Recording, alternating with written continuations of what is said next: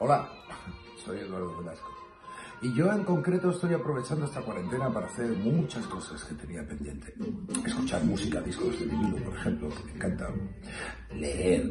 Ahora mismo estoy leyendo La década que nos dejó sin aliento de Juan de Slava una novela maravillosa de un autor maravilloso. También estoy aprovechando el tiempo pues, para cocinar. Fijaros qué cosa tan simple y tan sencilla.